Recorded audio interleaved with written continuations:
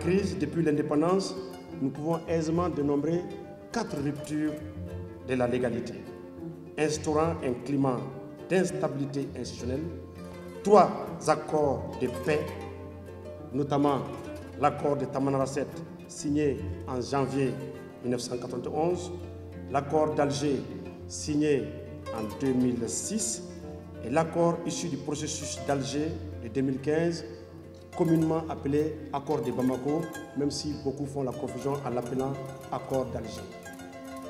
L'issue de ces conflits, vous l'aurez compris, a fait place aux accords de paix, qui de plus en plus s'imposent dans l'ordonnancement juridique. Ils bousculent considérablement les normes conventionnelles mettant en cause la sacralité de la pyramide de Kelsen que nous connaissons, qui énonce l'état de droit comme le règne des normes juridiques. Les accords politiques constituent à cet effet un instrument de règlement des conflits qui reflète les limites ainsi que les insuffisances de toutes les normes juridiques au plan interne. Ils sont très complexes, politiquement difficiles à mettre en œuvre et financièrement coûteuses. Pour autant, ils se présentent comme une solution à ces conflits, caractérisant désormais le nouveau désordre international. Le collègue Paterne Mambo, professeur, qualifie l'étude de ces accords de paix de difficile en raison de son caractère flou. L'étude a pour conséquence de réjaillir malencontreusement sur sa signification et sur l'ordonnancement juridique. Et on le sait tous que Jean-Louis Atangana définit les accords de paix comme étant un acte conclu entre les protagonistes d'une crise politique interne ayant pour but de la résorber, quelle que soit leur dénomination. La mise en œuvre de chacun des accords dans notre pays, et nous le savons tous, a pesé sur notre architecture institutionnelle, sur notre gouvernance. Le premier piège, au demeurant de ces journées d'information, serait d'identifier et de restituer les différents accords que le Mali a connus de l'indépendance à nos jours sur la crise au nord, alors même que les contextes de leur signature ne se recoupent pas.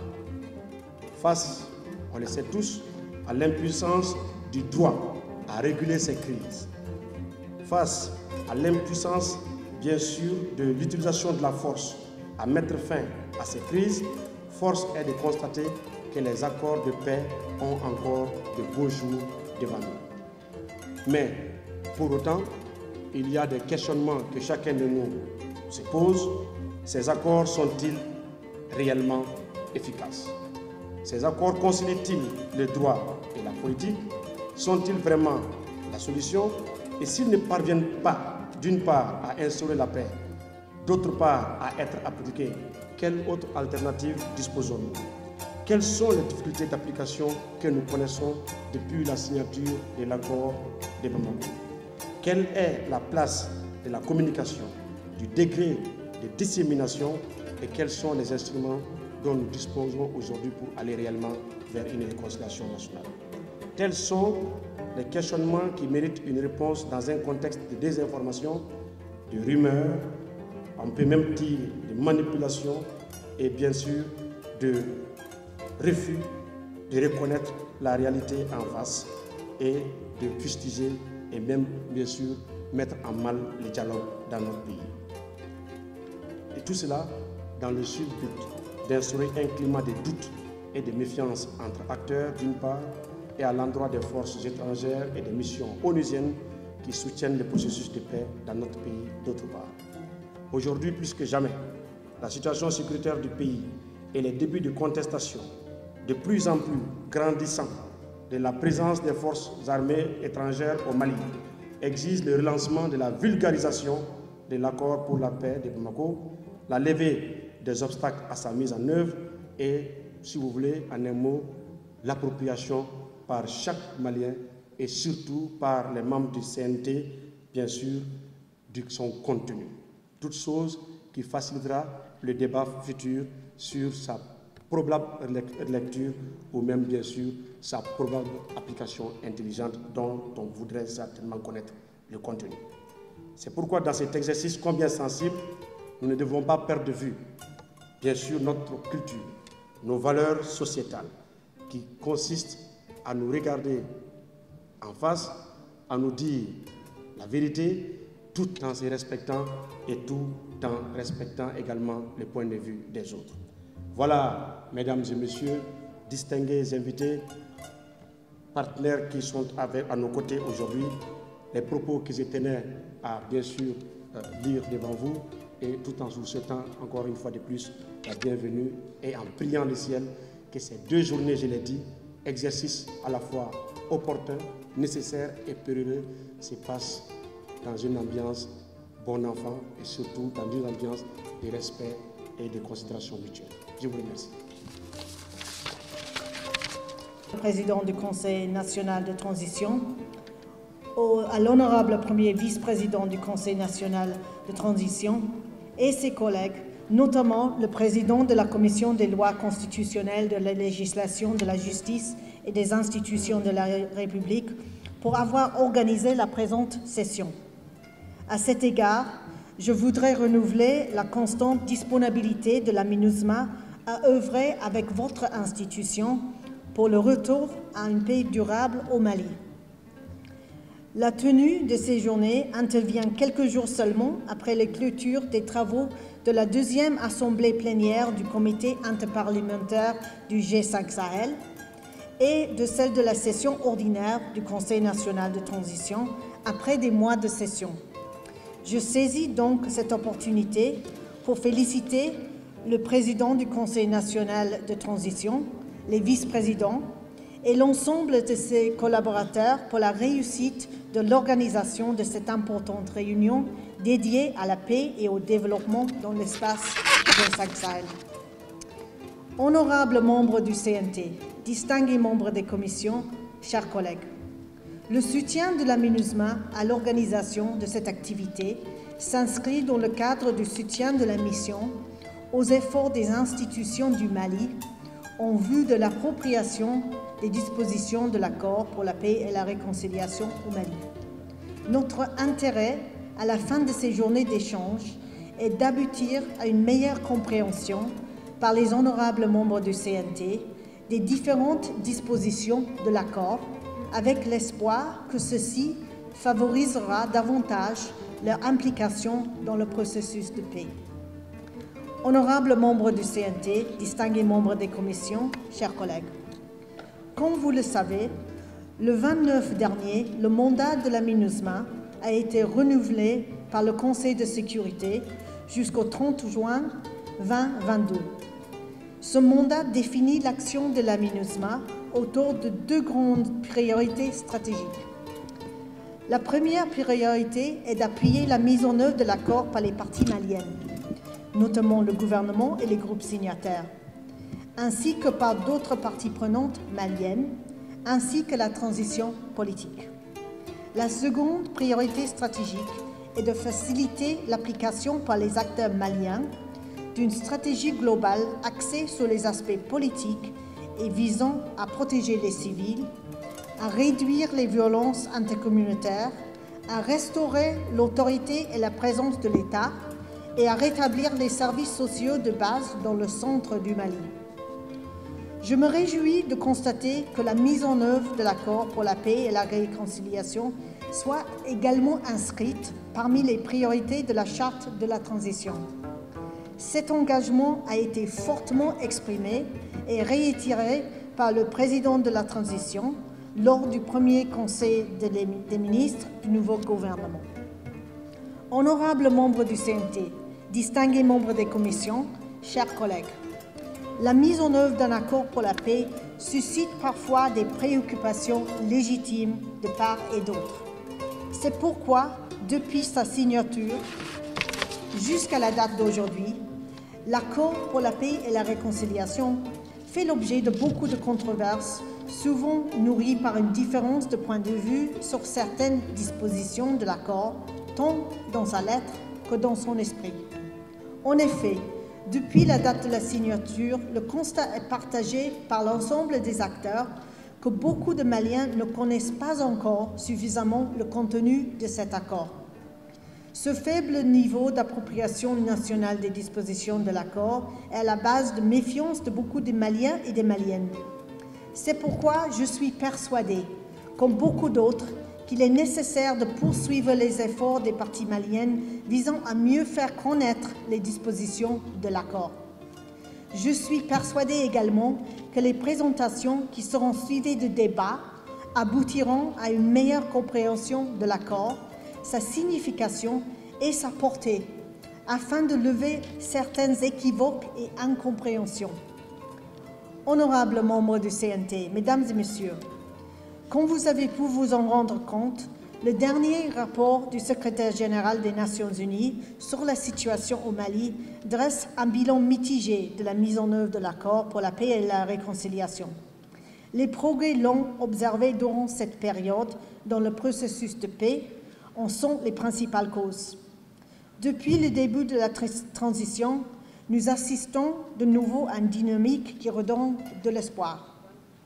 Le centre du Mali connaît également une recrudescence de la violence orchestrée à la fois par des groupes terroristes et par des bons amis qui, défiant l'autorité de l'État, procèdent au grand banditisme, aux assassinats ciblés et au règlement de comptes.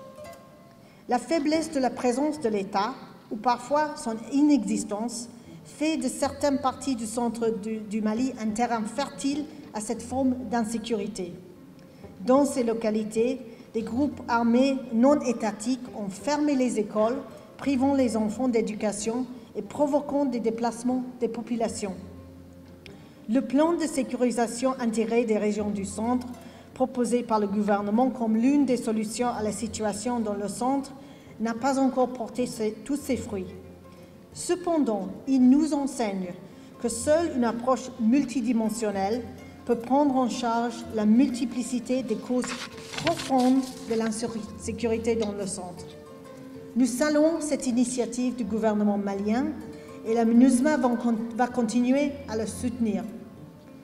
La fragilité observée dans le processus de paix et la présence encore timide de l'État dans certaines parties du territoire malien sont autant d'opportunités pour les ennemis de la paix et les réseaux transfrontaliers criminels il est de notre devoir à tous, Maliens et communauté internationale, de coopérer pleinement pour la stabilisation de la situation sécuritaire. La MINUSMA continuera à renforcer son appui aux forces armées maliennes et à soutenir la mise en œuvre des réformes envisagées dans le secteur de la défense et la de sécurité, afin d'accompagner le gouvernement dans ses efforts de rétablissement de son autorité sur l'ensemble du territoire. Honorables membres du CNT, Mesdames et Messieurs, le rôle du Conseil national de transition est essentiel pour la poursuite de la mise en œuvre de l'accord pour la paix en cette période et lui en, lui en soufflant une nouvelle dynamique positive porteuse de plus d'espoir pour une paix durable et pérenne. En effet, durant cette période, vous avez la lourde tâche d'œuvrer dans le sens de l'élaboration et l'adoption des textes nécessaires pour opéraliser les dispositions de l'accord pour la paix et réconciliation au Mali. Je ne doute pas de l'engagement soutenu de votre auguste institution à accorder une plus grande attention aux projets de loi inscrits dont l'adoption permettront de faire évoluer significativement l'agenda de la mise en œuvre de l'accord pour la paix. Je vous encourage tous à redoubler d'efforts pour aller dans le sens de la mise en œuvre dynamique de l'accord pour la paix, en, veillant à ce que le processus soit inclusif, transparent et soutenu. Au bout de compte, c'est aux parties maliennes qu'il appartient d'assurer la réussite de la mise en œuvre de l'accord de paix sont la ferme volonté des Maliennes et des Maliens de progresser dans la mise en œuvre de l'accord de paix, le soutien de la communauté internationale n'aura qu'une incidence limitée. Honorable Premier vice-président du Conseil national de transition, Mesdames et Messieurs, je ne saurais terminer mon intervention sans rappeler que l'accord pour la paix et la réconciliation reste essentiel pour la paix au Mali. Pour toutes ces raisons, l'accompagnement du CNT à ce processus reste indispensable. Nous vous remercions pour votre aimable attention.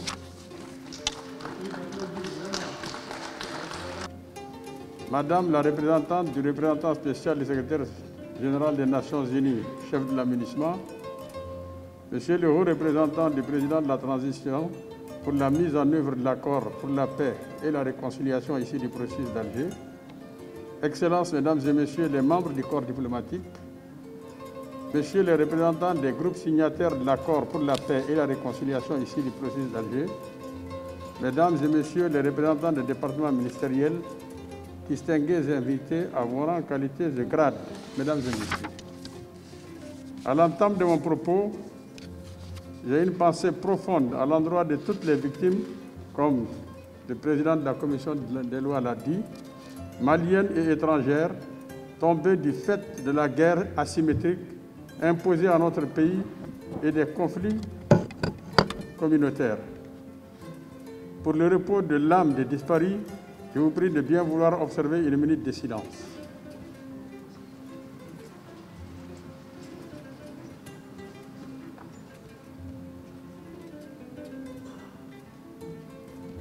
Merci beaucoup. Chers collègues, distingués invités, mesdames et messieurs, voici maintenant six ans qu'ici, dans cette même salle du CICB, naissait un vaste chantier national marquant l'aboutissement heureux d'un processus de dialogue intermalien instauré suite à la crise multidimensionnelle que notre pays a connue en 2012 un chantier vivement attendu à son temps par tous nos compatriotes ainsi que la communauté internationale, car portant les espoirs du retour définitif de la paix dans notre pays. Un chantier né d'un consensus sur, la nécessaire évolution de la gouvernance du Mali. J'ai nommé l'accord pour la paix et la réconciliation ici du processus d'Alger. Aujourd'hui, L'accord a six ans d'existence et sa mise en œuvre effective constitue plus que jamais pour le Mali et ses partenaires un centre d'intérêt majeur. S'il s'avère que son application connaît des avancées notoires, il est tout autant vrai qu'elle continue aussi d'enregistrer diverses appréhensions auxquelles des réponses idoines doivent être nécessairement apportées. L'objectif ultime de l'accord étant de résoudre le tissu, de recoudre le tissu social malien, nous nous devons, chacun en ce qui le concerne, de veiller à sa mise en œuvre efficace et efficiente, tout en faisant en sorte que toutes les parties prenantes puissent cheminer collégialement dans la même direction pour le sursaut du Mali. Dès là, ressort d'ailleurs toute l'importance pour les membres du Conseil national de transition de s'approprier davantage du contenu de l'accord et des, éventuelles insuffisances relevées dans son application. À cette fin, je me réjouis fortement de l'organisation des présentes journées d'information auxquelles je souhaite, je souhaite une réussite parfaite. En ce moment singulier de la vie de notre nation, marqué notamment par la persistance des actes terroristes la quête de la cohésion sociale et d'un climat sociopolitique apaisé, ainsi que notre volonté manifeste d'aller à la refondation de l'État, vous comprendrez aisément toute la portée de mon enthousiasme pour ce type de rencontre. Aussi, je voudrais mettre en relief l'initiative de ces journées qui procède de l'engagement constant du Conseil national de transition à être au cœur de la gestion des préoccupations maliennes, entre autres, les questions de gouvernance, les questions sécuritaires et celles du vivre ensemble qui conditionnent, comme vous le savez, le devenir de notre pays. L'occasion est bonne pour réitérer nos sincères remerciements à la République algérienne, à la communauté internationale, ainsi qu'à toutes les parties prenantes qui ont concouru à la concrétisation de l'accord et qui œuvrent à sa mise en œuvre malgré les difficultés de parcours. Distingués invités, mesdames et messieurs, au cours des présentes journées, nous aurons le privilège de passer en revue toutes les composantes de l'accord à travers les différents panels composés d'éminentes personnalités que je tiens à saluer pour leur disponibilité. nous aurons aussi la possibilité de capitaliser toutes les communications et les débats qui seront menés au fin de jouer efficacement notre rôle de parlementaire dans les futures réformes politiques et institutionnelles. En tout état de cause, le Conseil national de transition demeure plus que jamais déterminé à s'acquitter avec lucidité de toutes ses obligations visant à conforter le processus de mise en œuvre de l'accord. Distingués invités, Mesdames et Messieurs, le sens profond de ces journées d'information pour chacun de nous doit être un appel à plus d'action, à plus d'engagement, à plus de sacrifices pour renforcer notre cohésion nationale. Et cela en vue d'amorcer sereinement l'émergence du Mali nouveau. Par ailleurs, je garde espoir que le renouvellement du mandat de la jusqu'au 30 juin 2022, avec une redéfinition de, de ses priorités, désormais axée sur l'appui à la mise en œuvre de l'accord pour la paix et la réconciliation au Mali, l'appui à la transition ainsi que la stabilisation du centre du pays contribuera sans doute à soutenir plus efficacement l'État malien dans, dans ces différentes épreuves. J'espère également que les, échanges interactifs que vous aurez et qui vont débuter dans un instant nous permettront certainement de jauger l'évolution réelle du processus de paix dans notre pays afin que nous nous en soyons désormais acteurs éclairés. Avant de conclure, je voudrais remercier chaleureusement le chef de la MUNISMA, M.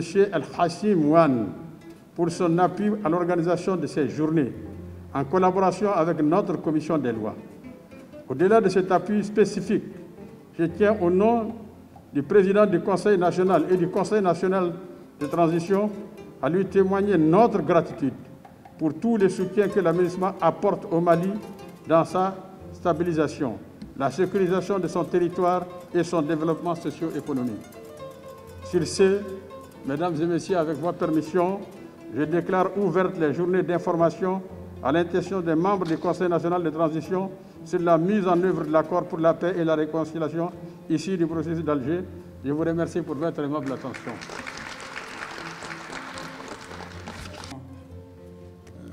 Monsieur le Premier vice-président du CNT, Monsieur le Président de la Commission euh, loi, honorables membres du CNT, Messieurs les ministres, membres de la médiation, Mesdames, Messieurs les membres de la distingués invités en vos rangs, grades et qualités respectifs, bonjour. Je m'attelle aujourd'hui à un exercice à la fois délicat et fastidieux, mais sans doute singulier, en ce que de la signature de l'accord à nos jours, c'est la première fois qu'il soit présenté et discuté dans l'hémicycle, en tout cas au sein du Parlement. Je sais, les représentants du peuple, que vous êtes très attentifs à l'accord, à son contenu, très sensible aux sensibilités diverses et relatives dans le pays. C'est pour cela que nous allons essayer conformément à ce que le président vient de dire, de contenir notre présentation liminaire euh, dans l'essentiel et laisser plus les questions, les contributions euh, animer justement ce panel. Alors, je dois rappeler de prime abord que l'accord pour la paix et la réconciliation ici du processus d'Alger intervient pour capitaliser un long processus de crise, de dialogue, d'accord multiforme dans le Mali post-colonial. Notre pays a connu une longue instabilité dans sa vie post-coloniale, marquée par deux types d'instabilité parallèles. D'une part, nous nous souvenons que dans la gouvernance politique du pays, aussitôt après l'accession à l'indépendance dans la fédération du Mali, nous sommes allés vers une rupture qui a été consacrée par euh, la fin de cette fédération et la proclamation de l'indépendance de la République du Mali par la sécession du Sénégal. En 1963, nous avons connu notre première révolte armée ou rébellion armée selon ce que les gens veulent bien donner comme appellation, qui a été soldée par une réponse militaire à la fin, une entente politique. Ensuite, nous avons connu les différents mouvements de contestation dans le pays sur l'orientation de la gouvernance du pays et qui finalement ont abouti le 19 novembre 68 au coup d'État militaire perpétré par euh, le, lieutenant Moussa Traoré à l'époque, plus tard président général. À la suite, nous avons connu les différentes révoltes contre le régime militaire.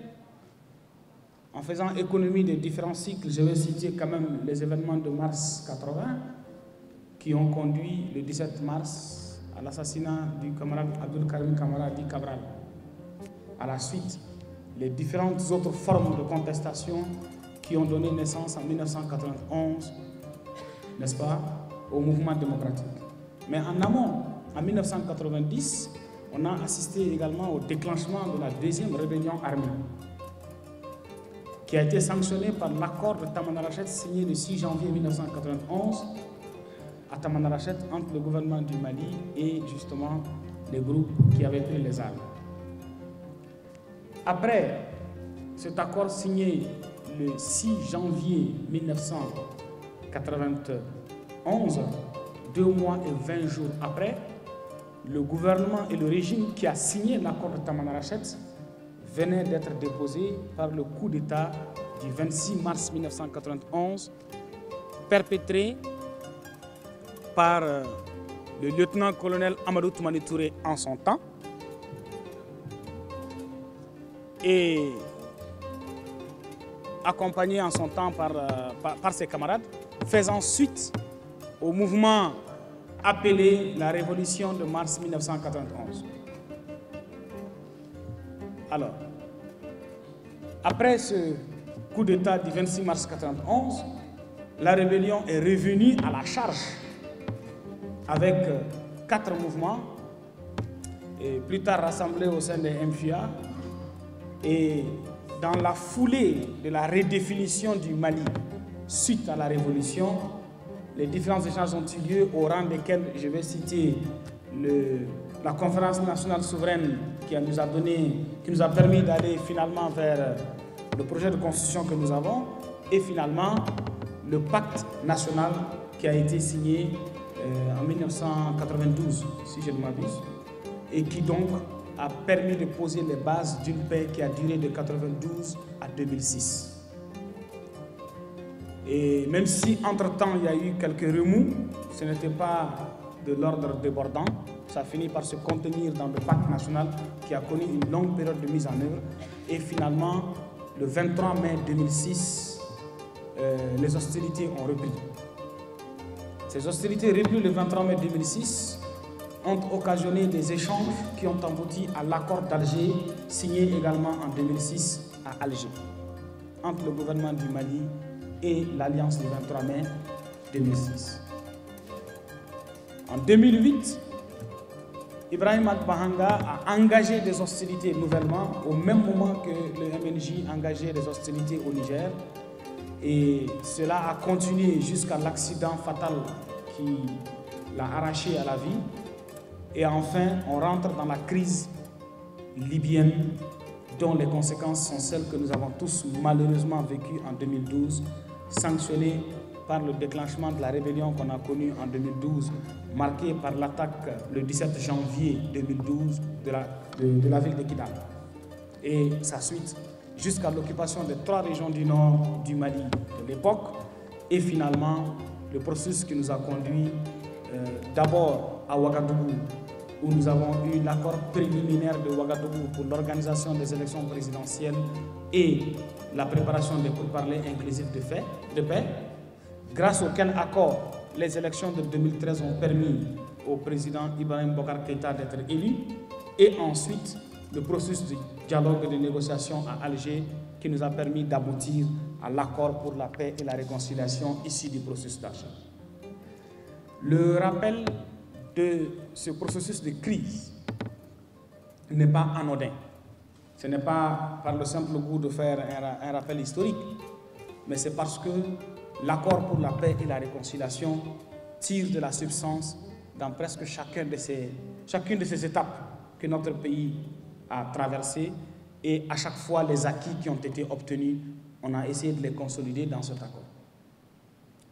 Je voudrais dire également qu'avant d'aller à la signature de l'accord, le régime du président Ibrahim Bokar Keïta, en son temps, a quand même organisé, euh, si je ne m'abuse, trois mois après son élection, d'abord les forums régionaux sur le Nord et ensuite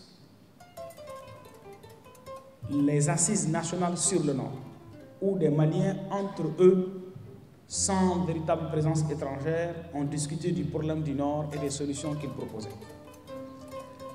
Quelques six mois après, il y a eu également les États généraux de la décentralisation, où les collectivités territoriales du Mali et les différents acteurs dans le processus de décentralisation se sont rassemblés pour faire le diagnostic de la décentralisation au Mali, faire le bilan, proposer des solutions afin d'améliorer le processus.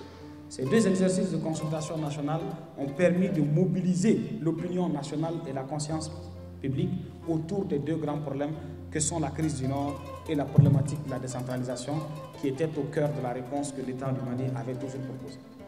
C'est ainsi que, en partant à Alger, l'État du Mali est parti avec la proposition de ce qu'il a appelé la décentralisation poussée, sinon la régionalisation.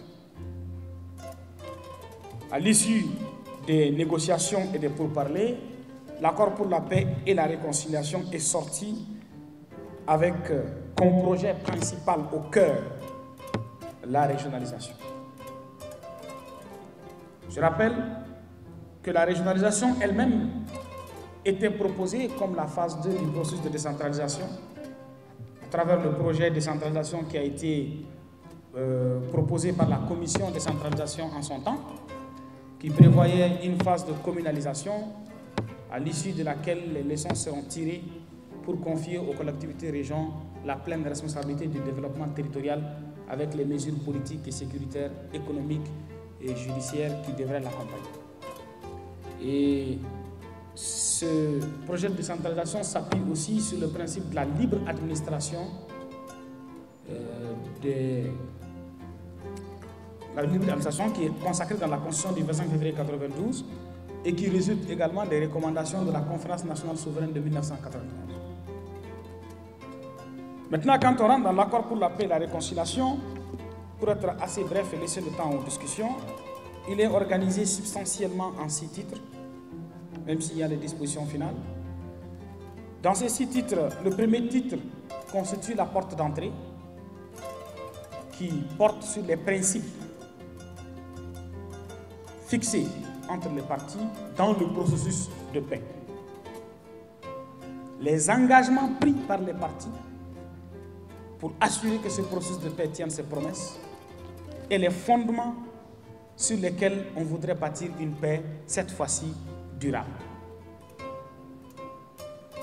Le sixième titre est en quelque sorte l'encadrement de l'accord qui porte sur la garantie et l'accompagnement d'ordre international au sein de laquelle les parties maliennes euh, conviennent des éléments de garantie, notamment en termes, en termes de bonne foi, dans la mise en œuvre de l'ensemble des dispositions de l'accord et la communauté internationale qui est mobilisée aux différentes échelles s'engage à accompagner le Mali sur le plan technique, sur le plan logistique, sur le plan financier pour nous assurer que le savoir-faire, la connaissance les moyens matériels et les moyens financiers ne soient pas des causes d'échec du processus de paix.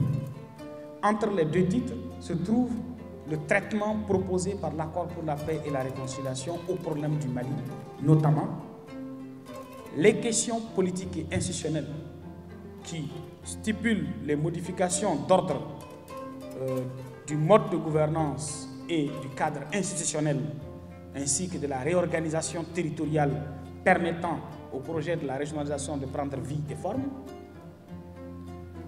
Aussi, les questions de défense et de sécurité, définissant les conditions dans lesquelles l'État du Mali doit réorganiser et reconstituer ses forces de défense et de sécurité pour, dans un premier temps, assurer la sécurité dans une période intérimaire annoncée dans l'accord pour de 15 à 24 mois. Au même moment, assurer la lutte contre le terrorisme avec les partis signataires à travers les unités mixtes et plus durablement reprendre le contrôle de l'ensemble du territoire national à travers le redéploiement des forces armées reconstituées et exercer sa fonction de défense qui lui est régalienne. Et différents mécanismes sont prévus à cet effet, notamment les questions de DDR, désarmement, démobilisation, réinsertion, insertion, réinsertion, intégration, réintégration. Il y a également le titre, euh, en dehors de ça, il y a la réforme du secteur de la sécurité qui participe justement à ce processus de restauration de l'appareil et l'outil de défense nationale euh, qui vise à passer de la sécurité classique vers la sécurité humaine et qui vise également à renforcer les autorités des collectivités dans l'exercice de leur mission à l'échelle des collectivités à travers euh, la mise à leur disposition d'une police territoriale devant mobiliser une bonne partie des populations au niveau local. De l'autre côté, euh, sur le titre 4, portant sur les questions de développement économique, social et culturel, eh bien, il est question de créer les conditions d'un développement équilibré des régions du Mali. Singulièrement, de prendre les mesures nécessaires pour rattraper le retard de développement qu'il y a entre les régions du Nord et les régions du Sud, à travers le dépêchement d'une mission d'évaluation conjointe des besoins du Nord en termes de développement, l'élaboration d'une stratégie spécifique de développement pour les régions du Nord, la création d'un fonds de développement durable qui porte sur les régions du Nord et sur l'ensemble des régions du Mali à contributions variées, l'organisation d'une conférence d'appel de fonds pour que les moyens soient mobilisés à cet effet. Il y a également le fait de remettre en place les agences de développement régional pour toutes les régions du Mali et le fait de créer une zone de développement régional pour les régions du Nord avec un conseil consultatif entre les différents organes des différentes autorités des régions. Et cela est prévu également dans une période de temps fixée, limitée. Au-delà de ça, l'accord prévoit beaucoup de sentiers, beaucoup de grandes infrastructures dans l'ensemble du pays, de Caille à Kidal. Et l'accord prévoit également que ce fonds de développement durable soit régulièrement alimenté par l'État du Mali, mais aussi par ses partenaires. Et aujourd'hui, l'État du Mali y a contribué à hauteur de beaucoup de milliards, sans aller au détail.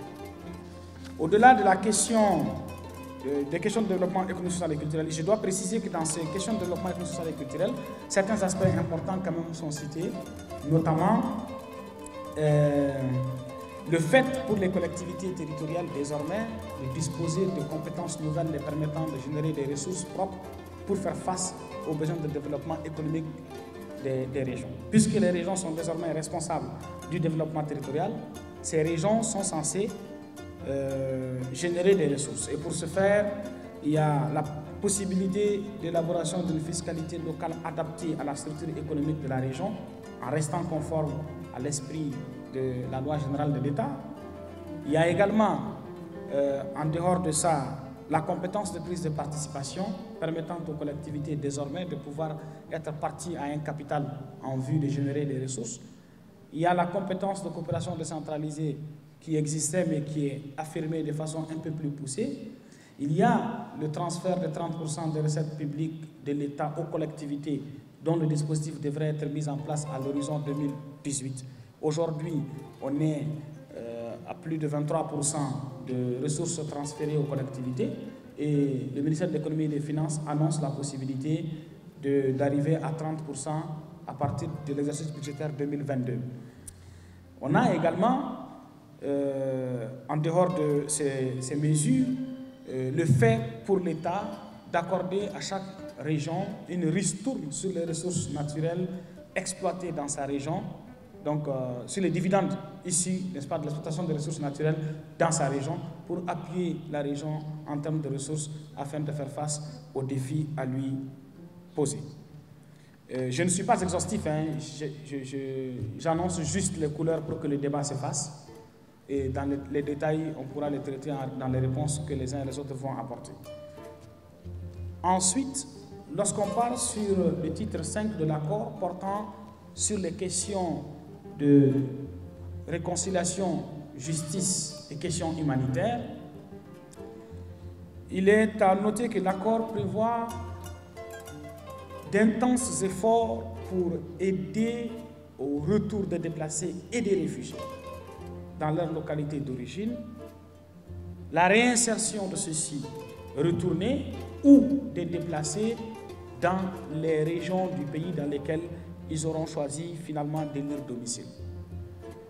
Il est également question de prendre des mesures spécifiques pour assurer que la justice soit rendu. À ce niveau, il y a des réformes qui sont prévues. Des réformes sont prévues dans le mode de distribution de la justice. Au plan traditionnel, il est prévu que les distributeurs traditionnels de la justice soient intégrés dans la chaîne de la justice à l'échelle de la médiation civile.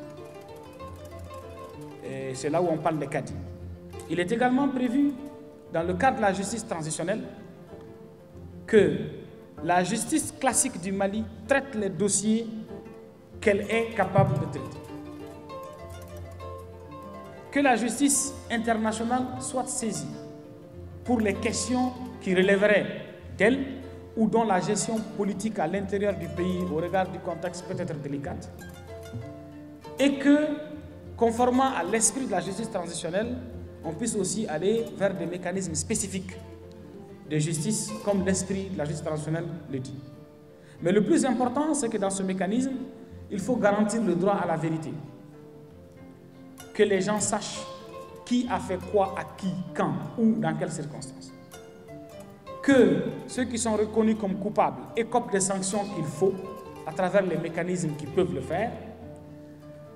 Donc ça, c'est le droit à la justice que les victimes bénéficient d'un effort de réparation, alors pour que justement elles ne restent pas face à leur propre sort sans soutien, et que la garantie de non-répétition puisse être prise, qui passe d'une part par des réformes politiques et institutionnelles, mais qui peut aussi se traduire à travers d'autres mesures convenues entre les fils de la patrie euh, au fil de l'exercice. Donc, on va dire, pour traduire en quelque sorte l'esprit du texte de l'accord, c'est les quelques éléments que j'ai ramassés comme propos introductifs, tout en précisant que les 30 minutes à moi accordées ne permettent absolument pas de présenter l'accord pour la paix et la réconciliation.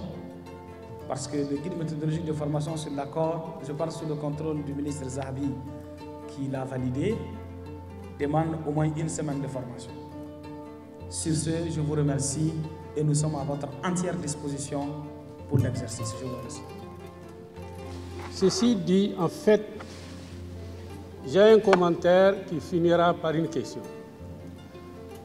L'accord pour la paix et la réconciliation ici du processus d'Alger c'est un accord pour aboutir à la paix. Ça fait quand même des années qu'il est signé, qu'il est exécuté. Mais la question qu'on se pose aujourd'hui, quel est son impact sur la quiétude et la paix au Mali? Euh, en partant tout le temps, euh, essayer de mettre en œuvre ce que le Sud n'accepte pas. Et il y a une frange de la population aujourd'hui qui ne comprennent rien du tout de cet accord, ils ne connaissent pas le contenu. Alors, on nous parle de l'accord pour tous les Maliens. C'est ça la problématique. Euh, je m'en vais peut-être euh, poser ces problématiques par rapport au pourquoi on est arrivé là. Est-ce un problème économique? Est-ce un problème politique? Est-ce un problème du développement? Dans ces trois ensembles, on peut faire les lectures très simples. Le Nord avait les mêmes problèmes que partout au Mali. Nous avons les mêmes problèmes économiques, nous avons les mêmes réalités sociopolitiques, nous avons les mêmes problèmes du développement. Aujourd'hui, nous constatons que au Nord, il y a une puissante, forte armée euh, avec lesquels, lesquels matériels, lorsque nous les euh, cédons, ça peut nous amener à développer ces zones qui y ont pris les armes à un moment donné parce qu'ils pensaient être abandonnés par le Mali, ils pensaient ne pas faire partir des problèmes socio-économiques. Pour moi, euh, l'implication de l'État concernant l'application de l'accord pour la paix est décriée par la communauté internationale. Mais quand n'est-il de l'engagement de désarmement des mouvements armée signataire. Merci. Permettez-moi de m'incliner devant l'expression des représentants du peuple que vous êtes. Il est du devoir du gouvernement que j'ai l'insigne honneur de représenter ici aujourd'hui pour un exercice qui était censé être un exercice d'atelier et qui prend les dimensions d'une interpellation, mais que j'accepte.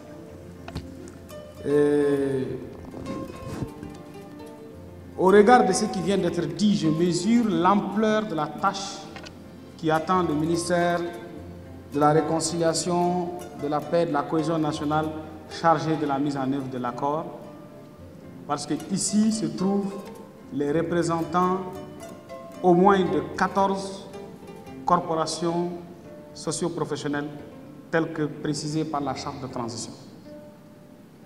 Et l'écrasante majorité des interventions s'inscrit dans une hostilité politique vis-à-vis de l'accord. Ça voudrait dire qu'il y a d'énormes efforts à fournir pour aider à harmoniser les niveaux de compréhension sur l'accord et ensuite faciliter sa mise en œuvre.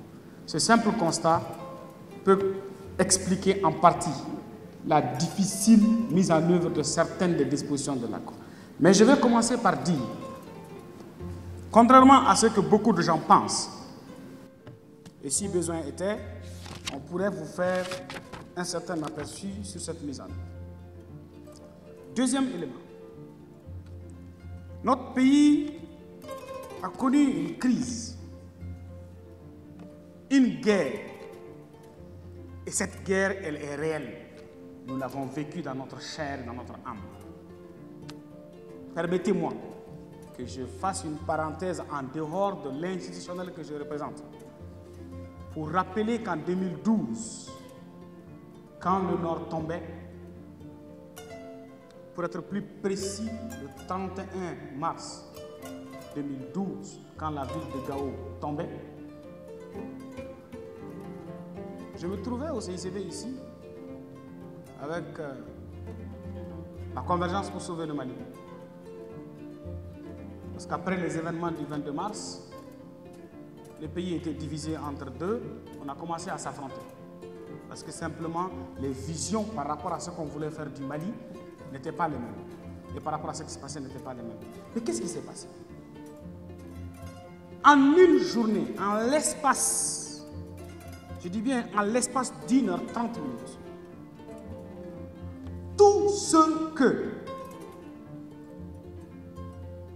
mes parents ont bâti à Gao durant toute leur vie, a volé en éclats. Pourquoi? Parce qu'il n'y avait plus l'État pour assurer leur sécurité. Parce qu'il n'y avait plus l'État pour permettre de préserver ce que la Constitution a déclaré comme sacré, la propriété, la dignité et l'intégrité. C'est une réalité, hein J'annonce ça pour entrer dans la réponse d'une question qui a demandé est-ce que cet accord a été utile? Quelle est la portée de cet accord sur le bien-être des populations? Aujourd'hui, je peux retourner à Gao. Aujourd'hui, ma famille se trouve à Gao. Aujourd'hui, je peux m'asseoir dans une même salle avec mon camarade de promotion Mossaga Sharatman. En 2012, on se serait rencontrés, peut-être on se serait tués. Aujourd'hui, les Maliens de Kaï à Kidal ont la possibilité d'être ensemble à Bamako, à Kaï, mais aussi à Kidal. Nous étions à Kaï, nous sommes là. J'ai quitté Kidal il y a seulement une semaine et quelques jours. Et ce n'est pas ma première fois d'y aller. Et dans l'ensemble des régions du Mali, nous pouvons partir. Aujourd'hui, nous sommes dans un processus de paix entre Maliens. Et je rappelle qu'en 2012, ce sont des citoyens maliens qui ont pris des armes, au rang desquels les militaires et les civils. Et ceux-ci ont orienté les armes sur l'armée et l'État naturellement avec les corollaires de perte en vies humaines en milieu civil. Nous avons été de ceux qui ont pris les armes contre la rébellion en 2012. Ça nous a coûté ce que ça nous a coûté. Mais aujourd'hui, il est question qu'entre les Maliens qui hier étaient en train de s'entretuer, on s'asseye, on discute de ce qu'on veut faire de notre pays. Voilà pourquoi l'accord pour la paix et la réconciliation, à son entame, dont les principes engagement et fondement pour un règlement durable du conflit pose un principe qui était les trois lignes, les lignes rouges que le président avait annoncées avant d'aller.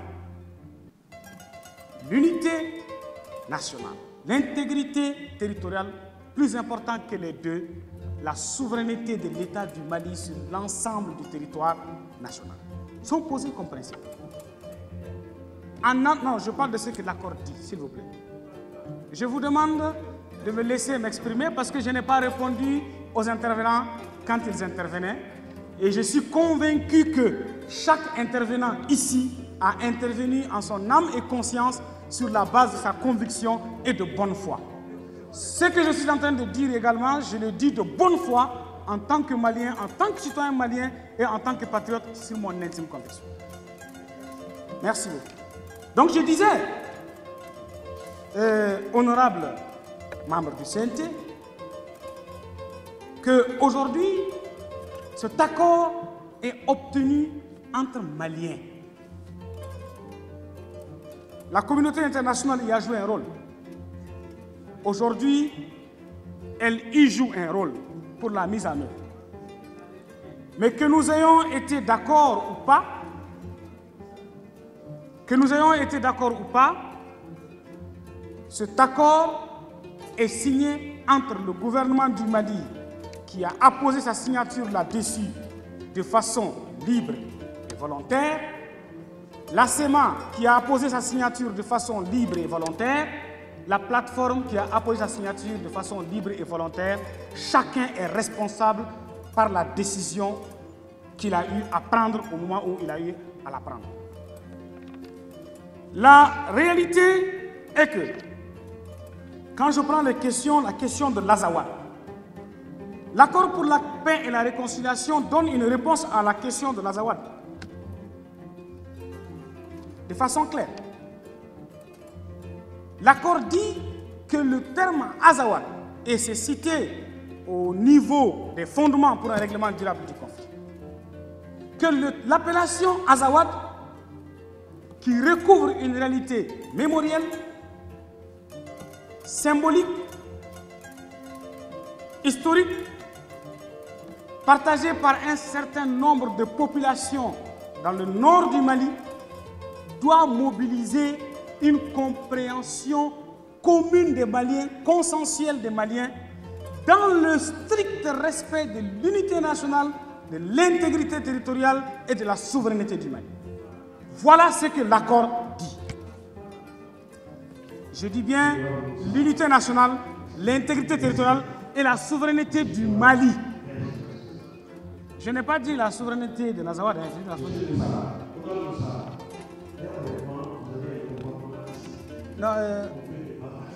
Monsieur le Président.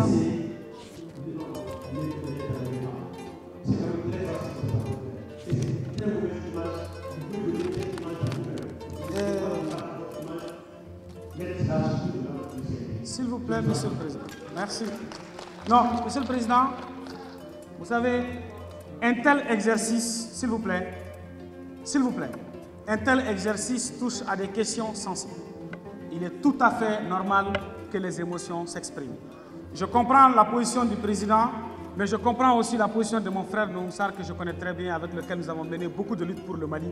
Je sais qu'il est foncièrement convaincu de mon patriotisme, comme je suis convaincu du sien. Mais l'exercice se prétend à nous. Chacun d'entre nous s'exprimera dans sa souveraineté et dans sa responsabilité. Ensemble, nous allons bâtir le Mali, j'en suis convaincu. Ne vous en, ne vous en. Ceci dit, pour la question des difficultés de mise en œuvre de l'accord, elle se pose à plusieurs niveaux, je vais revenir à ça. Le premier intervenant pose la question quel est l'impact sur la qualité de la paix? Je crois que j'ai un peu répondu à ça. Aujourd'hui, grâce à l'accord pour la paix et la réconciliation, nous avons réussi à taire les armes entre l'État du Mali, la SEMA, et dans une large mesure entre la SEMA et la plateforme. Ça, c'est un acquis très important. Peut-être aujourd'hui, certains ne le mesurent pas parce que six ans après, le drame est derrière nous. Mais je connais la douleur et le malheur que nous avons vécu quand en 2012, les viols, les assassinats sommaires et le drame qui s'est passé au nord du Mali, nous en avons la souvenance. Que Dieu nous en préserve et que cela nous revienne. Aujourd'hui, nous, sommes, nous sommes loin de la sécurité et de la quiétude qui étaient là avant la rébellion. Je le dis et je le reconnais. Mais nous sommes aussi loin de l'état du drame qu'on a vécu dans les événements de 2012. Il s'agit de continuer le combat pour redonner aux Maliens la sécurité qui est leur droit constitutionnel, l'éducation qui est leur droit constitutionnel, la santé qui est leur droit constitutionnel. Et cela se fait dans un exercice commun entre fils de la patrie, comme vous êtes en train de le faire ici au sein du CNT, entre ex-rebelles et autres citoyens maliens, comme le gouvernement de la République du Mali est en train de le faire aujourd'hui entre ex-rebelles et autres citoyens maliens. C'est ensemble que le Mali s'est bâti. Ça ne se fera pas dans l'exclusion d'une des parties si nous voulons que ce développement soit inclusif. Pourquoi le territoire est attaqué de toutes parts. Je pense que la question fait référence essentiellement à la question du terrorisme. Alors, il faut reconnaître de façon totalement objective que l'accord pour la paix et la réconciliation ne nous a pas permis de circonscrire la menace terroriste. Il faut aussi reconnaître que les initiateurs et les porteurs de la menace terroriste sur le Mali sont d'anciens rebelles, essentiellement. Il faut avoir le courage de le reconnaître. Il faut aussi reconnaître que le processus de médiation a décidé à un moment donné que ceux qui ne renoncent pas à l'obédience islamiste terroriste ne peuvent pas être sur la table de négociation. Et il faut reconnaître que sur le terrain, pendant la période d'occupation, les groupes terroristes ont pris le dessus sur les groupes considérés aujourd'hui comme les partis signataires et qu'ils avaient été déboutés du territoire. Et il faut reconnaître que la supériorité militaire constatée par ces groupes terroristes n'a pas pu être vaincue par l'opération Serval, ni par l'opération Barkhane, ni par les forces de la MINUSMA à satiété. Et aujourd'hui, on en vit les conséquences. C'est une réalité. Ceci constitue les réalités du processus de paix au Mali. Mais nous sommes dans un processus de paix. Un processus de paix qui ambitionne que les Maliens conviennent de la forme par laquelle leur État sera inclusif en prenant en compte tous ses fils et tous ses fils et exercera sa mission de sécurisation de ses citoyens sur son territoire dans le respect de l'équité de l'État vis-à-vis de l'ensemble des fils et sur l'ensemble de son territoire. Mais ce processus demande des réformes.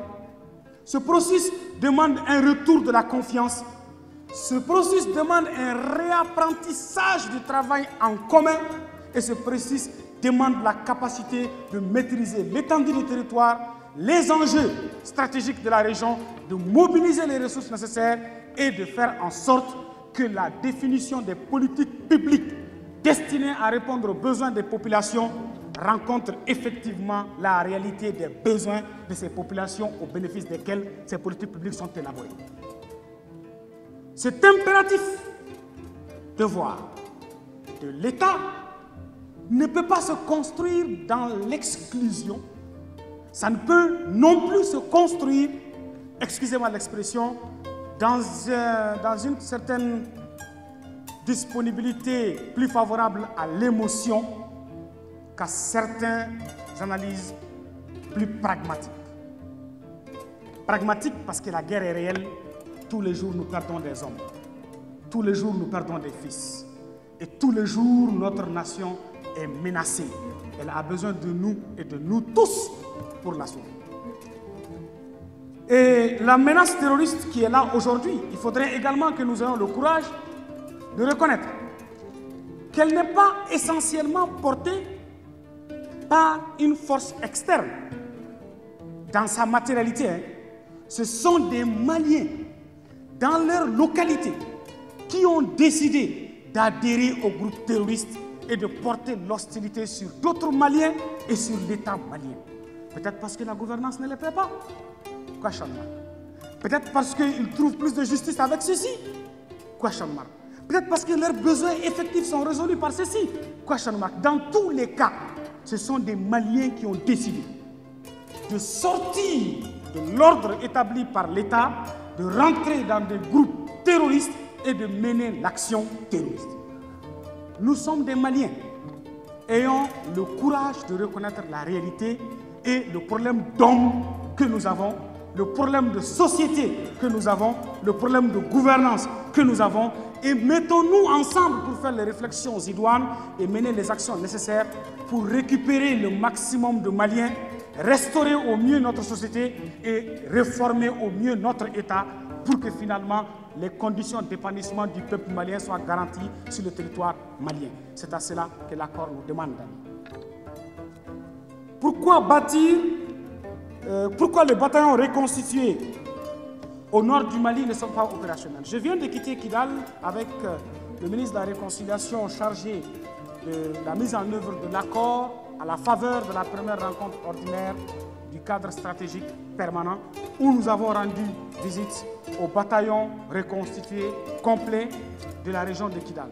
Le ministre de la Réconciliation chargé de l'accord a clairement annoncé que la mission de ce bataillon à laquelle il sera amené à, exercer très bientôt est d'assurer la sécurité des populations dans la, dans la région de Kidal, la sécurité des institutions, enfin des représentants de l'État, notamment le gouverneur et les différents services de l'État. Nous avons à la suite de ça fait le tour de la ville en allant visiter l'ensemble des services de l'État qui sont en état défectueux, qui doivent être restaurés, et ceux qui sont fonctionnels, parmi lesquels l'équipe régionale d'appui à la réconciliation, qui travaille correctement à Kidal régulièrement, et elle est l'une des équipes les plus performantes de l'ensemble des régions du Mali aujourd'hui. Pour vous dire que le travail se poursuit, même si ça se fait sous la pluie, nous transpirons quand même. Il ne faut pas que l'accord soit un facteur d'insécurité. Je suis totalement d'accord avec vous, honorable. L'accord ne doit pas être un facteur d'insécurité, ça doit être le cadre qui nous conduit vers la paix et qui nous permet de restaurer la sécurité. C'est pourquoi l'accord prévoit plusieurs mécanismes à cet effet.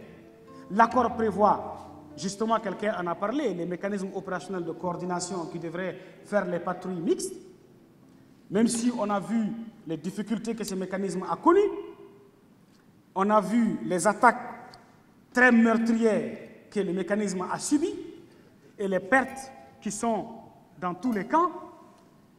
L'accord a prévu le, redéploiement des forces armées reconstituées. L'accord a prévu également les unités spéciales pour mener la lutte antiterroriste.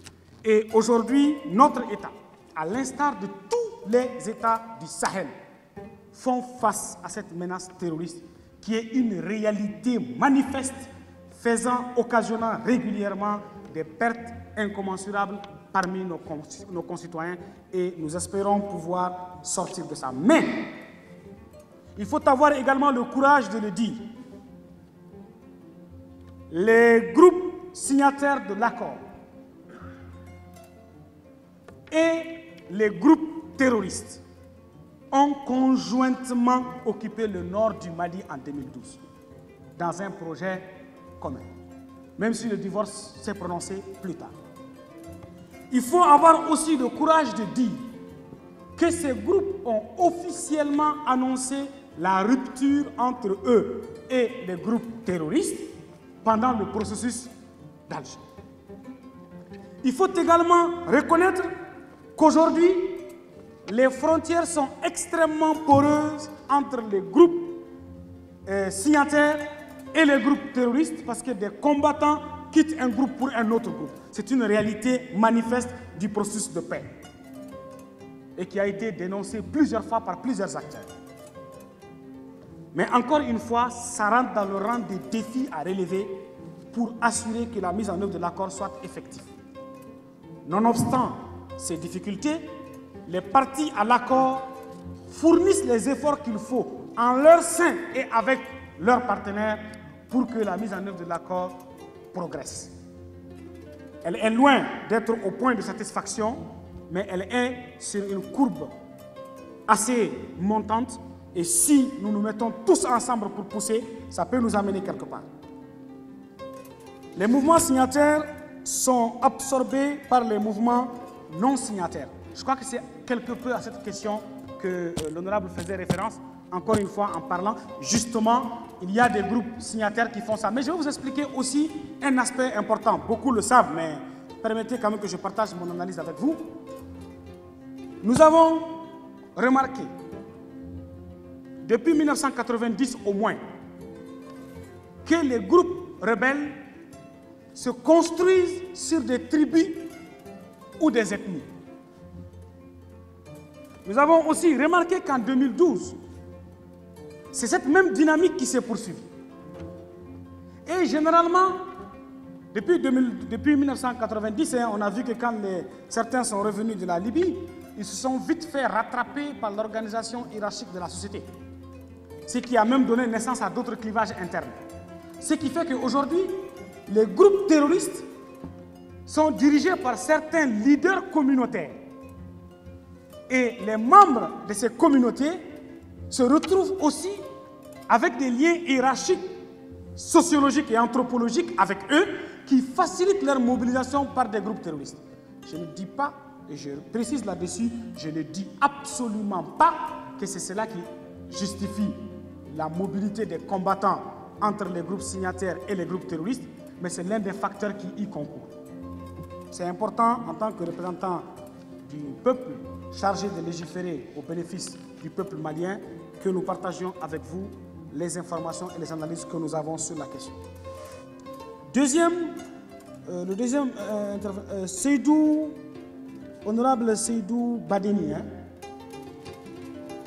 je donne, je dénonce l'absence du gouvernement et le fait que le gouvernement soit représenté par des conseillers. Bon, c'est votre, c'est votre droit, c'est votre compréhension, je la respecte et je transmettrai également l'information acquis de droit.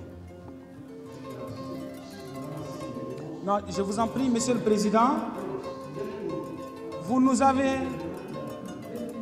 Je, vous, je, vais être, je vais être plus bref, mais permettez au moins que quand nous sommes interpellés avec autant d'acuité sur autant de questions que nous ayons aussi la liberté et le temps d'apporter les réponses requises. Nous avons attendu, écouté, nous sommes prêts à attendre jusqu'à demain, mais nous sommes aussi demandeurs du temps pour répondre correctement. Mais, ok, Monsieur le Président, je ferai de mon mieux pour être le plus concis possible, mais acceptez que je réponde correctement aux questions qui sont posées au gouvernement que j'ai l'insigne honneur de représenter ici aujourd'hui. Je suis désolé, mais si les questions peuvent être posées et que les réponses ne peuvent pas être données, le jeu serait biaisé. C'est tout. Euh, pourquoi le gouvernement et le, le partenaire laissent faire l'exploitation des ressources minières à Kidal Aujourd'hui, effectivement, il y a des sites d'orpaillage honorables à Kidal. Effectivement, beaucoup d'acteurs ont des machines sur le terrain pour exploiter de l'or. C'est une réalité. Hein? Mais il est aussi vrai que les sites d'orpaillage sont à Kenyaba. Il est aussi vrai que les sites d'orpaillage sont à Sikasso. Il est aussi vrai que ces mêmes sites sont dans d'autres régions. Je n'ai pas entendu l'installation d'une euh, société d'exploitation d'or pour le moment. Mais je, me réjouis que notre territoire jusqu'à Kidal regorge encore de l'or. J'espère que nous allons rapidement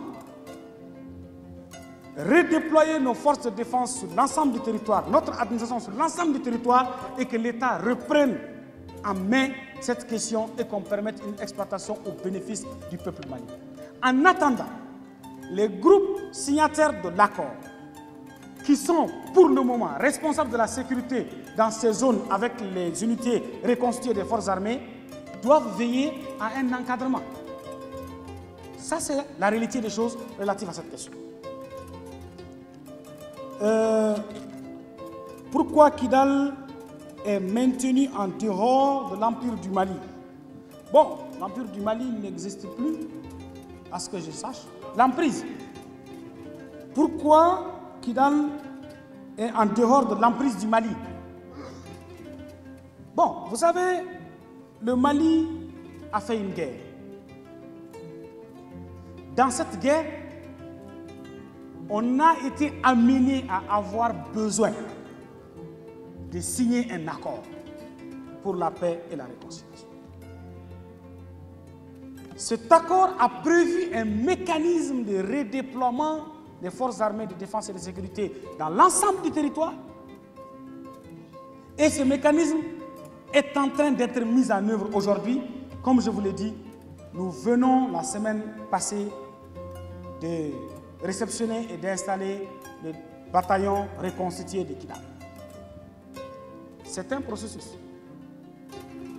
Deuxièmement, l'État du Mali a signé un accord avec d'autres partis qui sont aussi constitués de citoyens maliens. Ceux qui ont dit qu'ils veulent l'Azawad ont décidé de ne plus être nos frères en son temps. Nous avons dit, vous êtes nos frères, vous restez nos frères. Du moment qu'on a dit, vous ne quittez pas dans ce statut de frères, il faudrait bien qu'on accepte de les considérer comme des frères. Et de considérer que ce sont des Maliens qui sont là-bas. Et des Maliens qui, avec nous, sont en train de construire, sinon de reconstruire le Mali. Voilà pourquoi ils sont dans le gouvernement. Voilà pourquoi ils sont parmi vous au sein du CNT. Et il est temps au Mali qu'on accepte que ceux qui étaient rebelles hier sont et continuent d'être des Maliens et qu'avec eux, on doit construire le Mali. De mon point de vue personnel, les défis qui se posent à nous, c'est comment pouvons-nous, entre nous, Maliens, rebâtir le Mali dans un dialogue sincère et de confiance. Maintenant, après, euh, les considérations politiques sont des considérations politiques et nous laissons le soin aux hommes politiques pour les traiter. En quoi la constitution actuelle pose obstacle à la mise en œuvre de l'accord pour la paix et la réconciliation? Essentiellement, la constitution actuelle n'est pas un véritable obstacle à la mise en œuvre de l'essentiel des dispositions de l'accord.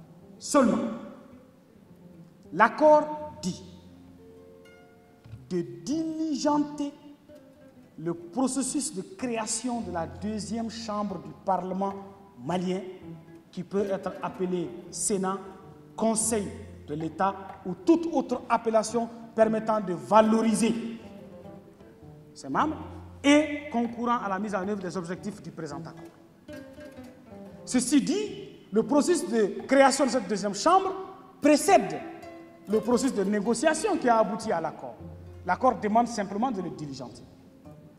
Deuxième élément, peut-être, et ça les spécialistes me diront si je me trompe ou pas, peut-être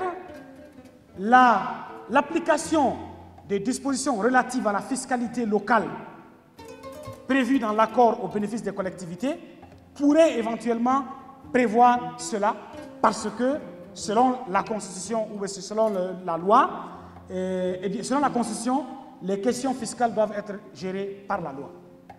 Donc, de mon point de vue, à ce niveau, il y a du travail ou une réflexion à faire. Ça, c'est mon point de vue. Et enfin, si nous le voulons, je dis bien, si nous le voulons, nous, Maliens, tout azimut, nous pouvons tout à fait décider d'inscrire la régionalisation dans la Constitution pour lui donner un fondement constitutionnel, si nous le voulons. Je dis bien si nous le voulons. Mais ce n'est pas un impératif de l'accord.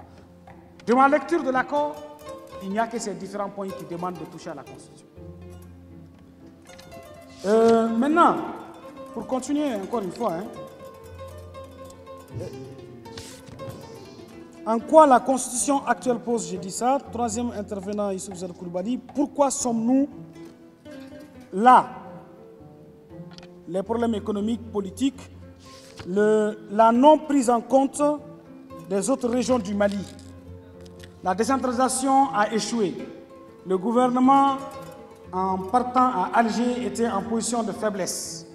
Sur ces différents points qui ont été cités, euh, honorable Issouf Koulibaly, nous en sommes là parce que la gouvernance qu'on a fait du Mali de 1990 au moins à nos jours nous a menés là.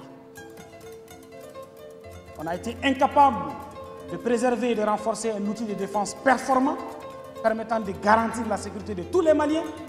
On a été incapable de mener une gouvernance politique capable de satisfaire effectivement les préoccupations des Maliens dans les 12 603 villages du pays. Ça, c'est une réalité. Et on a été incapable de circonscrire les menaces violentes portées par certains de nos compatriotes face à l'instrument de défense nationale. Voilà pourquoi nous en sommes là. Maintenant, euh, la décentralisation a échoué, c'est un avis. Je ne me mettrai ni contre ni pour. Euh, chacun a son opinion sur la décentralisation. Le gouvernement, en partant à Alger, était en position de faiblesse. C'est aussi une appréciation. Effectivement, on a essuyé euh, de Kidal au passage du Premier ministre Moussa Mara avant d'aller à Alger. Effectivement, l'accord a été signé, et ça pour faire un clin d'œil à mon cher ami Noumsar, honorable Noumsar, euh, le gouvernement avait quelques points de réserve sur l'accord, euh, les, les, groupes signataires avaient aussi quelques points d'accord sur l'accord, mais finalement, ces points ont été acceptés par les deux parties et les deux parties ont signé sans avoir une arme à la tempe, à ce que je sache. Et celui qui décide de signer est responsable de sa signature. Si nous devons nous orienter vers quelqu'un, orientons-nous vers celui qui a signé. Ça, c'est euh, l'élément que je voulais donner sur ça. Si l'accord nous pose plus de problèmes que de solutions, il faut l'abandonner. Cette décision souveraine appartient au peuple malien. Et c'est à lui qu'il appartient de la prendre. Je n'ai aucun commentaire là-dessus. On ne peut pas faire la paix avec des gens qui sont armés. C'est un avis. C'était celui du président Ibrahim Bokar Keïta au départ du processus. Après, il a signé l'accord. Allez savoir. Que les groupes armés déposent les armes, je suis totalement d'accord avec cela. L'accord prévoit que les groupes armés déposent les armes. L'accord le dit de façon manifeste. Donc, le plus tôt ils déposeront les armes, le mieux ce sera et ce serait respecter l'accord. vendez les pick-up et construisez des hôpitaux. En effet, si nous trouvons la paix, on peut remplacer les 14.5 et les 12.7 par des machines à scanner. Je serais très heureux. Ce serait vraiment intéressant au bénéfice du Mali. En oui, bien entendu. Sans problème. Honorable Assali, je crois qu'il a plutôt recadré les choses. Honorable Nyamoy Soumaré, qu'en est-il de l'engagement des mouvements signataires à se désarmer? Je crois que c'est la même question qu'on vient de, poser. heureusement que des groupes signataires sont ici dans la salle. Les questions à eux posées peuvent être répondues directement par eux si le président le permet, bien entendu, à temps opportun. Mais je ne peux pas me prononcer sur les intentions des gens. Je n'ai ni le mandat, ni la connaissance. Honorable Alassane Sissi, je demande à nos, voilà, à nos, frères du Nord hein, de renoncer à cet accord qui pose trop de problèmes. Vraiment, ça, c'est une adresse euh, à nos compatriotes. Je les laisse euh, répondre à ça. Honorable Gabriel Koulibaly, l'échec de l'accord est lié au fait qu'il repose sur le matériel et non sur l'homme. On a fait croire à certaines parties du pays que l'armée est contre elle. Alors, mettons de côté les armes. Sur ces différentes questions, je dois dire que l'accord pose le problème de façon multidimensionnelle. Construit sa réponse de façon intégrée. C'est pourquoi je vous ai dit, les quatre titres qui, proposent un traitement au problème du Mali sont le titre 2, 3, 4 et 5, qui sont encadrés par les principes, les engagements et les fondements et qui sont couronné par la garantie et l'accompagnement d'ordre international. Il s'agit, dans l'accord, de faire en sorte que les autorités élaboratrices des politiques publiques, pour répondre aux besoins des populations, soient suffisamment proches de ces populations afin de prendre en compte leurs préoccupations. Que le mode par lequel ces autorités procèdent pour élaborer les politiques et les mettre en œuvre qui étaient avant directifs et centralisés deviennent décentralisés et participatifs. Pour ce faire, il y a des institutions qui doivent changer. Il y a des compétences qui doivent être transférées. Il y a des ressources qui doivent être attribuées et il y a un contrôle que l'État doit exercer sur les collectivités. Le mode de ce contrôle devait changer. Ce sont ces mesures qui sont proposées. Euh, monsieur Oumarou Z, hein, quelle évaluation faites-vous de la mise en œuvre de l'accord après six ans hein, C'est bien ça. excusez-moi, j'ai trop sauté. Je suis en train de contracter, croyez-moi.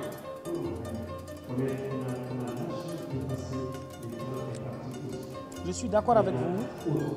Je suis totalement d'accord avec vous. Je suis totalement d'accord.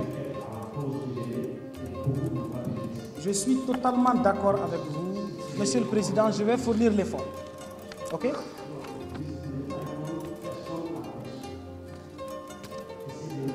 Non, je, je, vous en prie. Les gens attendent des réponses précises sur les questions qu'ils ont posées. Si je saute, ils vont dire que j'ai sauté leurs questions. À moins que les gens acceptent ici que je ne réponde pas à leurs questions.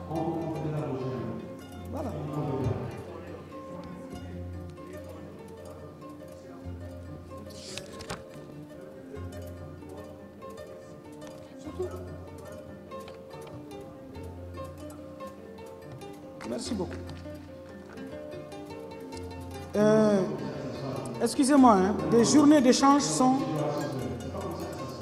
Je suis.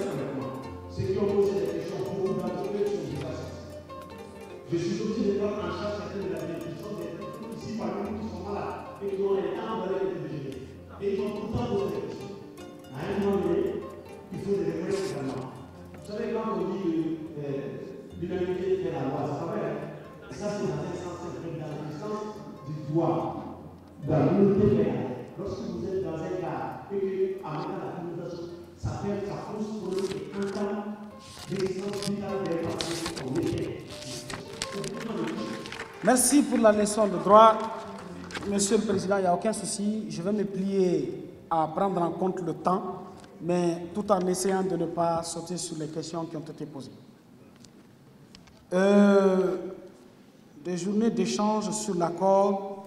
En effet, hein, vraiment l'appellation de l'événement, journée d'échange sans aucun problème. Nous ne devions pas aller à l'accord. Le titre 1 oblige l'accord à respecter la Constitution.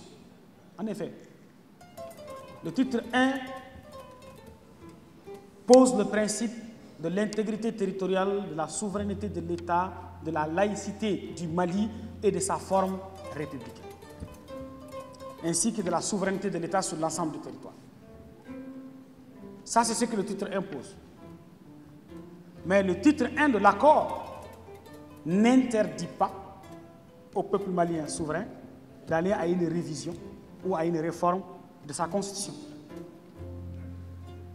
Non, ça ne le pose pas. Alors, en prenant la question, qu'est-ce que le gouvernement entend, par, euh, entend réviser dans l'accord L'article 65 de l'accord détermine les modalités de sa révision.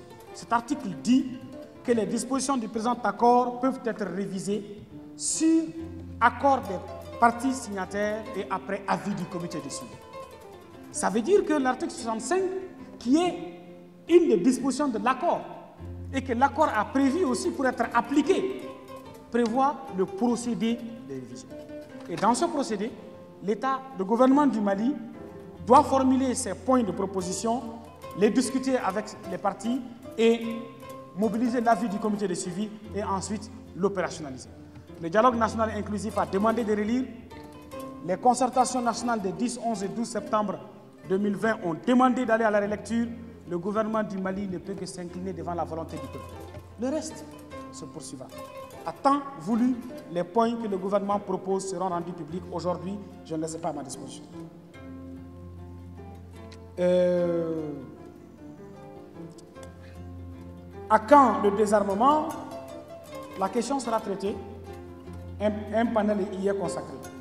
Quel est le rôle de l'aménagement? L'aménagement a le rôle d'accompagner le Mali dans le processus de mise en œuvre de l'accord.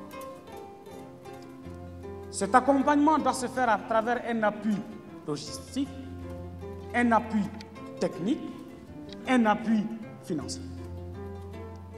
L'avis que chacun a sur l'aménagement est personnel, mais le gouvernement du Mali, de 2015 à nos jours, a continuellement bénéficié de l'appui logistique, de l'appui financier et de l'appui technique de l'aménagement. La société civile malienne, dans sa large diversité, a continuellement bénéficié de 2015 à nos jours de l'appui logistique, de l'appui financier et de l'appui technique de l'aménagement. Ça, c'est une réalité. Pour d'autres questions plus spécifiques, les panels suivants vont apporter les réponses. Maintenant, l'avis que chacun a sur l'aménagement est vraiment personnel et libre. Je ne rentre pas dedans. La libre administration, je ne vais pas faire de commentaires là-dessus. Hein. C'est un principe consacré dans la Constitution, réclamé par la Conférence nationale souveraine de 91 et traduit à travers le projet de décentralisation. Il y a des spécialistes mieux outillés là-dessus que moi.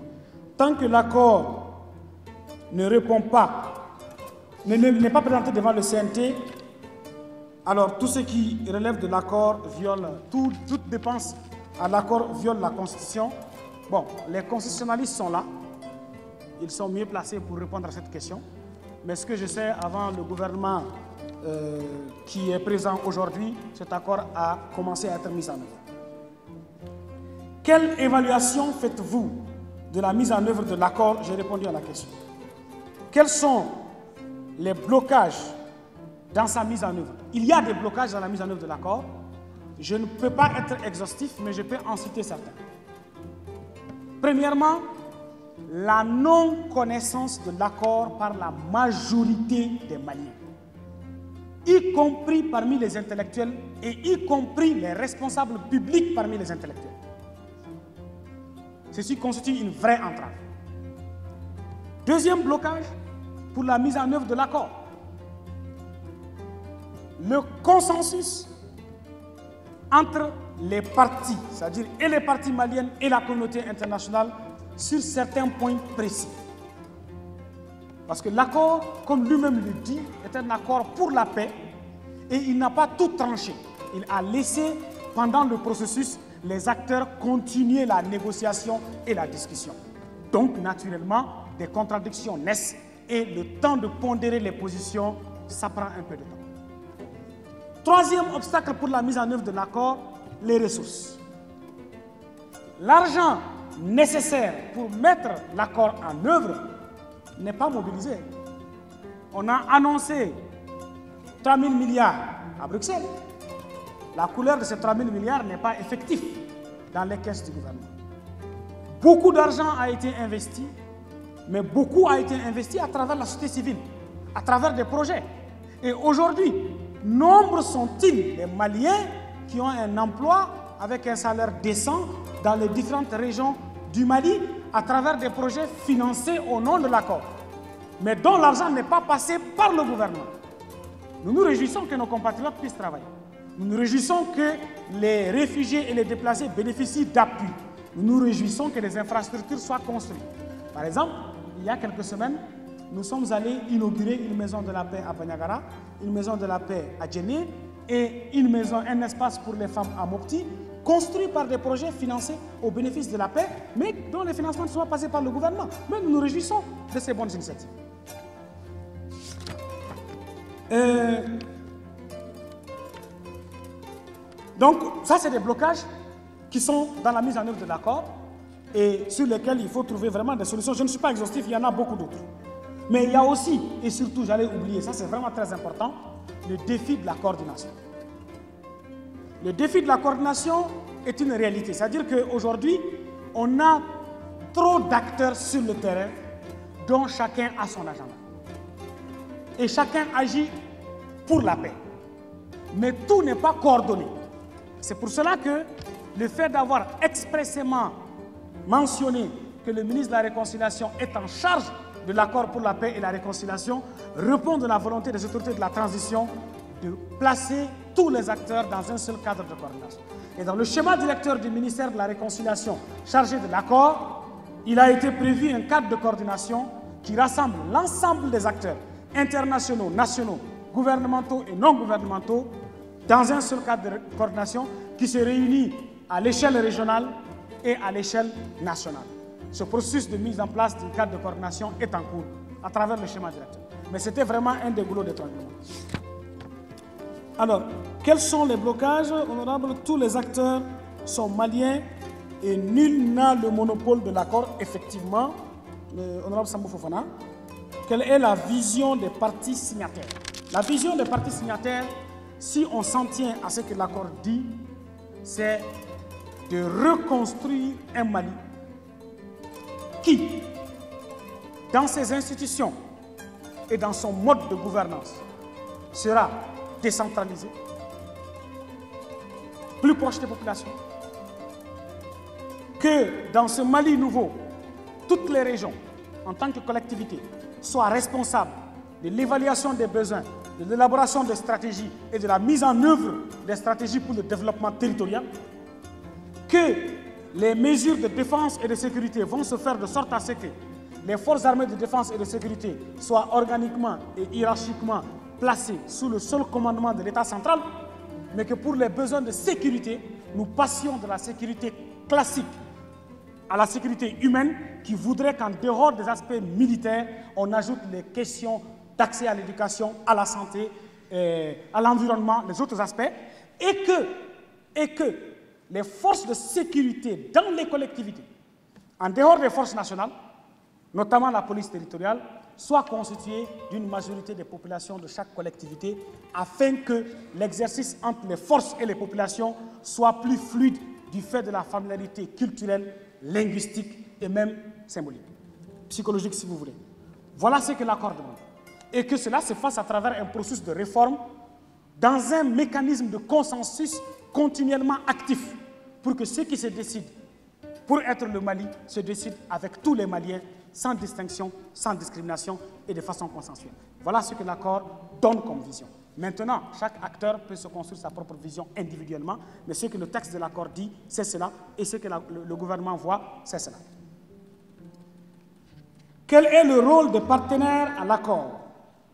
Le titre 6 de l'accord dit que les partenaires à l'accord, notamment la médiation, s'engagent à assurer un accompagnement du Mali pour la mise en œuvre de cet accord. Les mesures pour cet accompagnement sont multiples. Comme on l'a dit, créer les conditions pour rapprocher les parties en apportant les appuis nécessaires du point de vue logistique, du point de vue financier et du point de vue technique là où c'est nécessaire.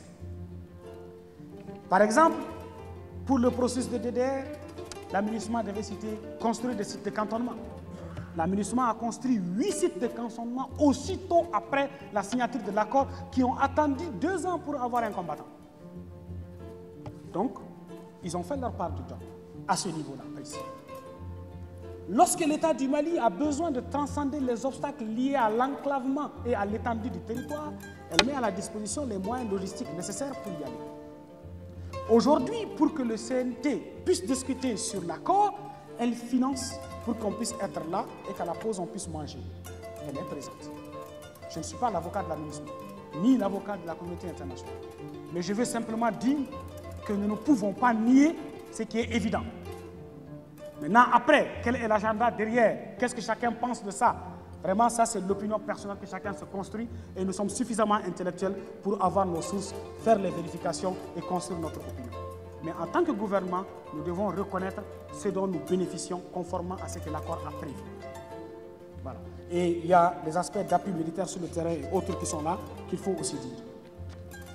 Il faut qu'il y ait une phase entre les populations et le gouvernement. Je suis absolument d'accord. Et pendant longtemps, justement, cette emphase entre le gouvernement et les populations a fait défaut. Aujourd'hui encore, ça fait défaut. On le constate, c'est tellement vivant dans cette salle. Parce que vous êtes le peuple. Et on constate que les points de vue ne sont pas véritablement harmonisés. Il y a du travail à faire à ce niveau. Mais nous ne pouvons pas le réussir seuls. Nous avons aussi besoin de vous. Et vous représentez en plus les corporations socio-professionnelles du Mali. Et l'article 54 de l'accord lance spécifiquement un appel à la société civile, particulièrement les femmes et les jeunes, pour entreprendre toute action visant justement à faciliter l'atteinte des objectifs du présent accord, que sont la paix, la sécurité et la bonne gouvernance au Mali. Donc, vous appropriez l'accord, partagez cela avec vos corporations et participez au processus de paix et vraiment demandez à vous par l'accord en dehors de votre statut de membre du centre. Il faut qu'il y ait, oui, j'ai déjà dit ça, honorable Bilal Keita, pourquoi il n'y a pas eu de désarmement jusqu'à présent. Il y a eu désarmement, mais il n'y a pas eu de désarmement comme nous le voulions à l'accord le Encore une fois, c'est un long processus, mais dans tous les cas, nous avons la chance d'avoir non seulement le président de la commission DDR, mais aussi un les anciens ministres de la réconciliation nationale du Mali ici, qui connaît profondément le processus de la crise du Mali et le processus de la paix au Mali. Vous serez bien servi lors des prochains panels sur cette question. pour le développement des infrastructures, il n'y a pas, il n'y a rien concernant le Sud dans la, dans la page 30. Hein. Très bien. Vous avez le titre 4 portant sur les questions de développement économique, social et culturel.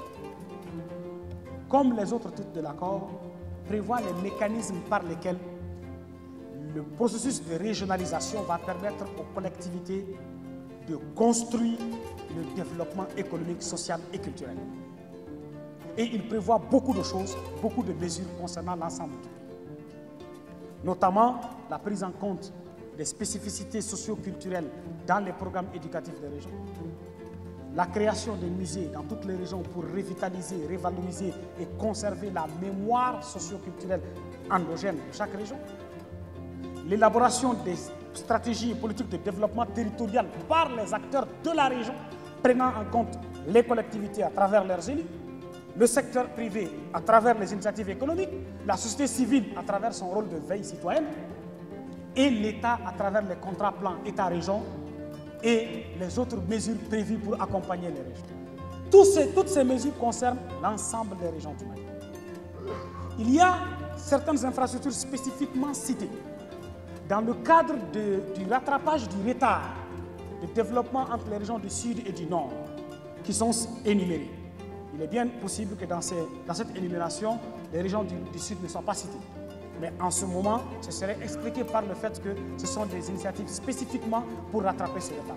Et pour vous donner des exemples, pour dire que ce n'était pas simplement des affirmations gratuites, la politique nationale de la santé du Mali a bien voulu que chaque région ait un hôpital régional, que chaque cercle ait un CCRF et que chaque commune ait un CESCOM. La région de Kidal, aujourd'hui, à l'heure où je parle, n'a jamais connu un hôpital régional. C'est une réalité la politique nationale est violée.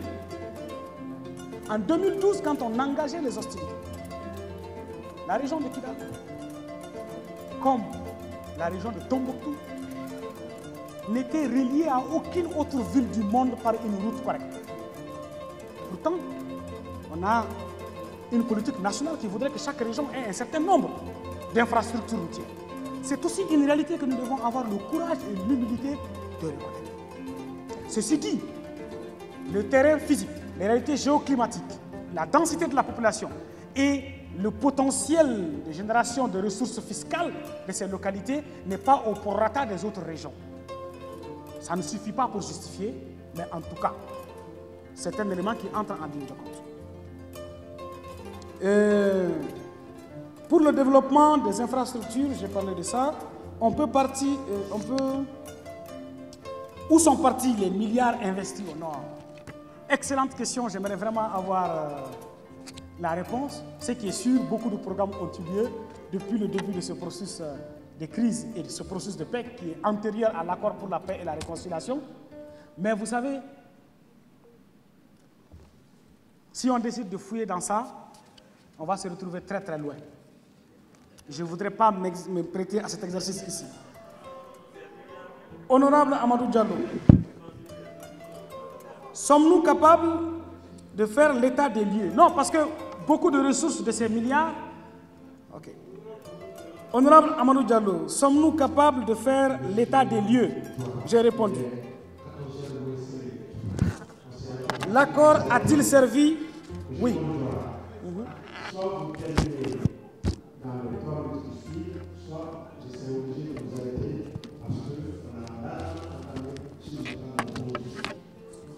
Je, je suis totalement disponible si vous voulez. Si vous... Non, mais je suis en train de répondre à votre injonction de répondre aux membres du CNT. C'est ça la vérité? À moins que vous ne Mais il a posé une question, je suis désolé, je ne sais même pas qu'il n'est pas là. Ok, si vous voulez que j'arrête, ordonnez-moi d'arrêter, j'arrête, il n'y a pas de problème.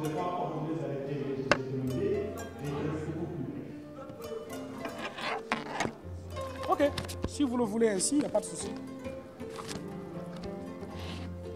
Ah, c'est simple. Euh, de toute façon, hein, euh, honorable, je m'arrête.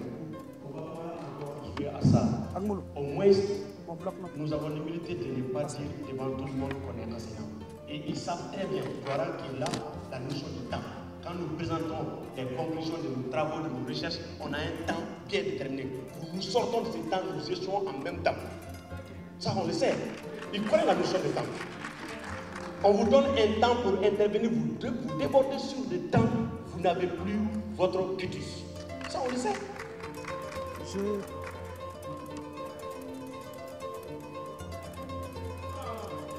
Je ne spécule pas, Monsieur le Président. Je peux? Est-ce que je peux? On a parmi nous des invités, des anciens ministres qui sont là depuis le matin, qui devaient prendre en charge un panel depuis 11 heures et qui sont toujours dans la salle et pourtant ils devaient juste venir à 11 heures faire leur panel et repartir répondre à des obligations qui les attendent. Hmm? Ça aussi, il faudra avoir l'amabilité de les reconnaître. On ne peut pas continuer à garder avec nous les ministres Abdelaziz Sall, le ministre Zahabi et le haut représentant du président, alors qu'ils sont appelés à d'autres engagements. Ça aussi, c'est un temps qu'il faut respecter. Chacun a eu l'agenda, chacun connaît son temps d'intervention. Je demande très gentiment encore une dernière fois à mon ami Douara d'écouter ses propos et il est 14h, on serait obligé de demander gentiment également à nos invités ici de nous pardonner et de revenir dans la salle pour prendre en charge la communication. Merci. Euh, je crois que je ne vais pas répondre aux autres questions. Je vais essayer de faire une réponse globale pour y aller. Euh, nous sommes là juste pour satisfaire ce que vous voulez. Donc, en somme, honorable membre du Santé, Monsieur le Président, pour respecter votre temps, je vais vous dire que le Mali a besoin que l'ensemble de ses fils, et parmi ceux-ci, les intellectuels, et parmi ceux-ci, les responsables au niveau national,